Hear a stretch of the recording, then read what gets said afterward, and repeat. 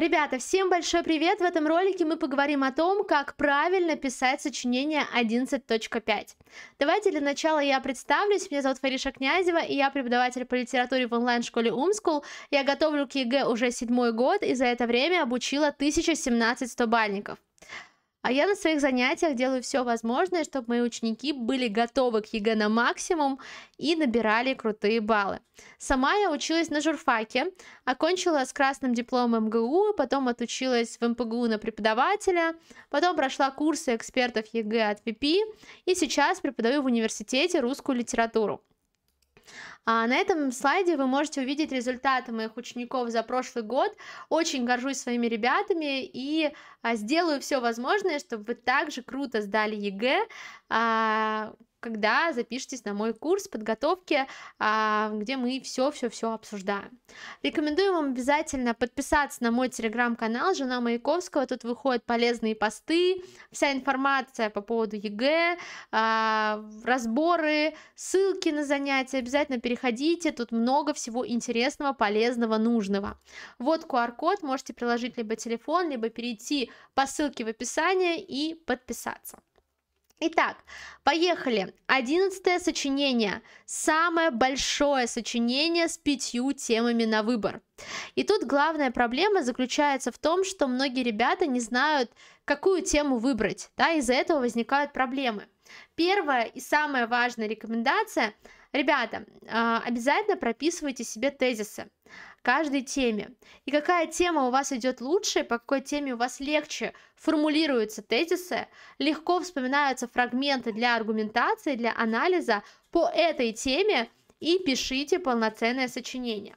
Но если вдруг вы задумались о теме диалог искусств, а, мы сегодня поговорим, как писать это сочинение, на что обращать внимание. Итак, 11.5 это всегда тема диалог искусств. Это анализ произведения через призму связи литературы с другими видами искусства. Для начала нужно понимать, какие виды искусства существуют и какие у этого вида искусства, роли, функции и так далее. Итак, живопись.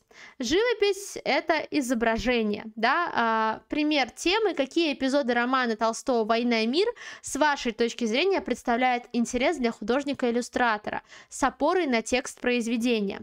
Конечно, вы возьмете те а, эпизоды, те фрагменты, в которых либо происходит развитие героев, либо это эпизоды, которые раскрывают вашу концепцию. То есть, когда вы пишете 11 сочинение вот подобного вида, у вас должна быть какая-то концепция. По какому принципу вы отбираете эти эпизоды? Это может быть, например, э, судьба Андрея Балконского, да, для художника-иллюстратора интересна судьба Андрея Балконского, и вы рассматриваете только те эпизоды, которые отражают его развитие, да, его ну, перемены в его жизни. А, или же это может быть а, война, Отечественная война 12 года, и вы уже рассматриваете ключевые сражения. Или это может быть развитие Наташи Ростовой, да, а, или вы доказываете этими эпизодами, что Наташа Ростова идеал Толстого. Вы берете те эпизоды, где она раскрывается с положительной стороны. То есть э, должна быть какая-то конкретная концепция. По какому признаку вы взяли эти эпизоды? И по сути вы это формулируете в введении, да? Что именно вы хотите в этом сочинении представить? Или просто какие-то центральные эпизоды, которые, как вам кажется, раскрывают темы произведения, главные темы, и выражают идею Толстого, да? То есть должна быть какая-то причина, по которой вы объединяете эти эпизоды в одно сочинение. А, как правило, живописи мы можем отображать портреты героев и через это выражать характеры. А, пейзажи, авторскую позицию выражать через пейзаж. Связь человека с природой может воплощаться через пейзаж. А, детали портретов, что тоже раскрывает исключительные черты героев. Театр как может звучать тема по театру? Мои рекомендации к, центра... Э, к театральному воплощению одной из ключевых сцен пьесы Горького на дне. Либо спрашивают про сцены, как эта сцена должна выглядеть. И вы тут об... должны обращать внимание на декорации, на ремарки авторские, да, замечания э, и характеристику автора, да, а, и при этом на характеры героев, как актеры должны играть того или иного героя. Опять же, отвечая на подобный вопрос, раскрывая эту тему сочинения, вы должны задуматься о книге непосредственно, как в книге этот эпизод представлен. И какие советы вы даете, чтобы в книге также, чтобы в театре точно так же хорошо это передалось, как в книге, да? И через, опять же, идеи произведения вы это воплощаете кино. Какие советы вы бы дали режиссеру, взявшемуся за экранизацию пьесы Островского «Гроза»? Тоже, как бы, если вы даете советы режиссеру, вы должны, э, ну, понимать э, смысл пьесы «Гроза», да, э, образ главной героини, характер Катерины, ее исключительность в чем проявляется, и в зависимости от этого вы даете советы режиссеру в зависимости от положения героев вы даете советы режиссеру. То есть все равно вы опираетесь на литературу, вспоминаете, как это в книге выражается, и с учетом того, как в книге выразилось, вы выстраиваете свои советы режиссеру. Важно помнить, что мы здесь ни в коем случае не отходим от литературы. Мы пишем сочинения по литературе, да, опираемся в первую очередь на книгу, но с такой отсылкой на другой, другой вид искусства. Ну и музыка. Какие решения вы бы предложили режиссеру, постановщику по музыкальному и шумовому оформлению фильма, снимающего, снимаемого по рассказу Горького «Старуха из Иргиль»? Но тут тоже эта музыка должна воплощать характеры героев, пейзаж, атмосферу, настроение, пафос произведения, да, должна воплощать. Поэтому музыка все равно связана с идейным тематическим направлением произведения, потому что она передает настроение и характеры героев героев. Ребята, помните обязательно, что 11.5 оценивается ровно так же, как и любое другое 11 сочинение. Там одинаковые критерии, и ключевое, что вы должны обязательно учитывать, это критерии – Сочинение соответствует теме. Ваша работа должна четко соответствовать теме. Вы реально даете советы режиссеру, потому чтобы что-то передать, да, чтобы что-то от, от, раскрыть. И раскрываете эту тему хорошенечко. Сочинение написано за одну тему, тема раскрыта глубоко и многосторонне. Не забываем, что здесь э, важно раскрытие обоих видов искусства, как э, музыки, так и литературы, живописи и литературы. Помним про количество слов, да, здесь обязательно подсчитываем количество слов. Привлечение текста произведения для аргументации. Обратите внимание, что здесь все равно мы должны вспоминать конкретные фрагменты, эпизоды, которые доказывают нашу мысль, через которые мы что-то выражаем. То есть точные конкретные фрагменты у нас обязательно должны быть. А, опора на теоретико-литературные понятия. Тоже такая коварная история, когда многие берут а, диалог искусств, забывают про термины напрочь, да, хотя здесь обязательно должны использоваться литературоведческие термины, которые должны быть включены в анализ, а, ну, они должны быть в анализе произведения, да, когда вы используете фрагменты, разбираете, доказываете, анализируете эпизоды. И э, важно использовать литературные термины, но если вы приведете термины из других видов искусства, работа будет выглядеть даже убедительней. Поэтому если вы используете термины из другого вида искусства, там учитесь музыкалке, в художке, э, возможно, многое знаете, да, и тут тоже можно использовать, почему бы и нет. Но помните, что литература в сердечке на первом месте, она должна звучать обязательно.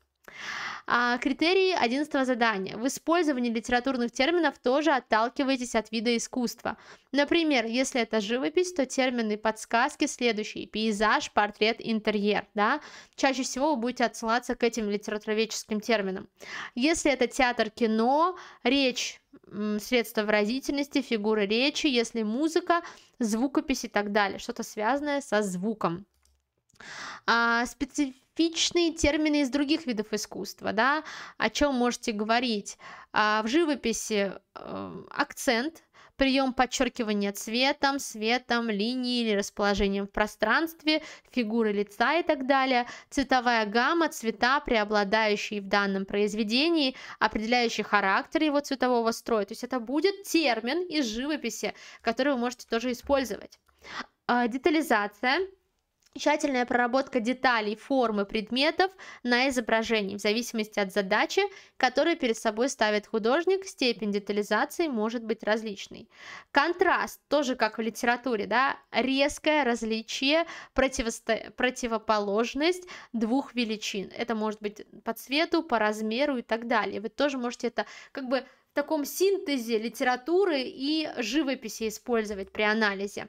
Театр. Мы говорим обязательно про амплуа, характер ролей, исполняемых э, актером, апарте, сценическое, э, сценические монологи или реплики, произносимые в стороны, да, э, и декорация, мизансцена, как актеры размещаются на сцене, как выглядит вокруг пространство, да, это декорация называется. И все эти термины вы можете тоже здесь использовать.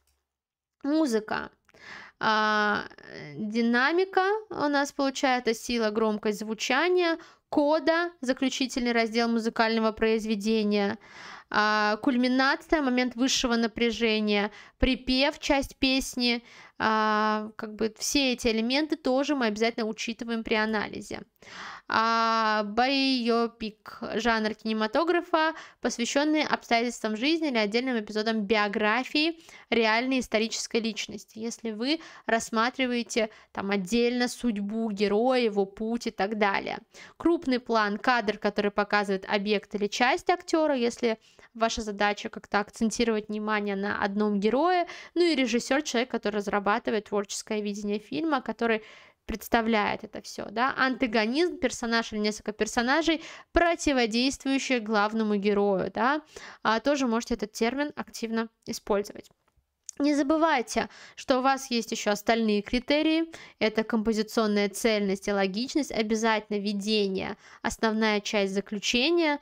А, мы не противоречим себе, своим суждениям, чтобы все было логично, четко выстроено. А, конечно, мы говорим про термин соблюдение речевых норм. Помним о речевой точности, выразительности, соблюдение орфографических норм обязательно, пунктуационных норм и грамматических норм. И максимальные баллы вы можете получить 18, да, максимальный балл за это сочинение, такой же, как за любое другое 11. Все одинаково здесь оценивается, будьте внимательны. Алгоритм написания 11.5 мы сначала читаем тему, определяем вид искусства. Что это за вид искусства? С чем мы будем с вами э, встречаться? Составляем тезисы, а, ориентируясь опять же на вид искусства.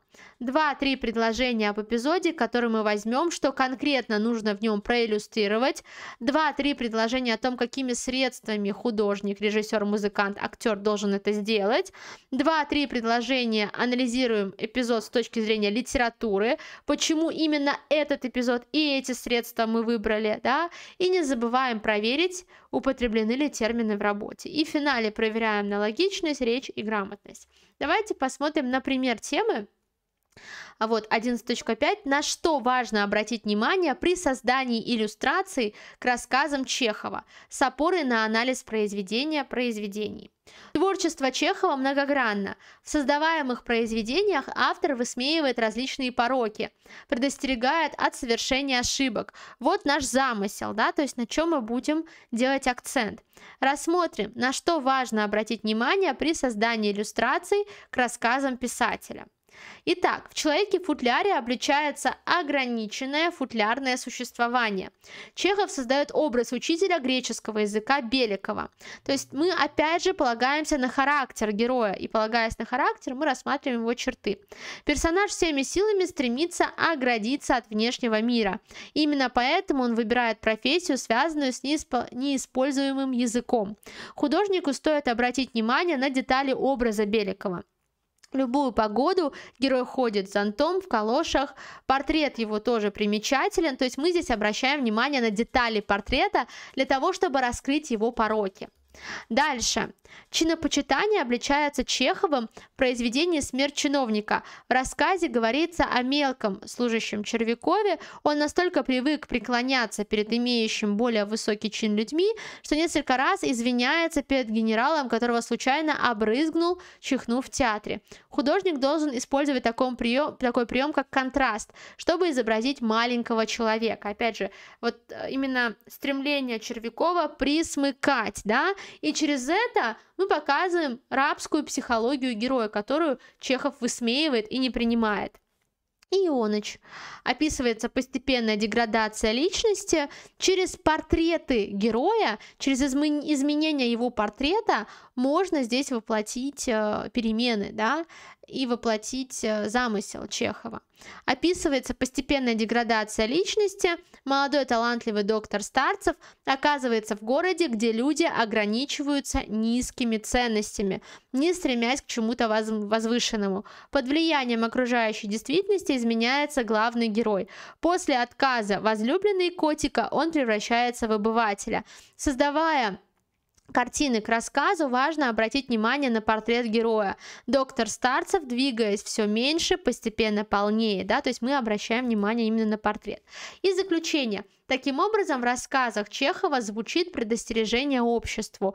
Автор призывает к сохранению важнейших качеств личности, именно поэтому для иллюстрации произведений писателя важную роль играет передача деталей. Вообще в целом детали, портреты и э, антитеза, это противопоставленность, да, человек, маленького человека власть имущему. Опять же, главный вывод, который вы должны сделать после просмотра этого ролика, что это сочинение, по сути, не сильно отличается от любого другого, одиннадцатого. Здесь мы все равно полагаемся на фрагмент, все равно полагаемся на эпизод, да, и через а, эпизод, через характер персонажа, через деталь, а, микротему мы с вами раскрываем тему этого сочинения. Как-то так. Большое спасибо, что были сегодня со мной. Обязательно посмотрите ролик еще отдельно про 11 сочинение, которое тоже есть на этом канале. До скорых встреч, пока-пока, удачи в подготовке к ЕГЭ.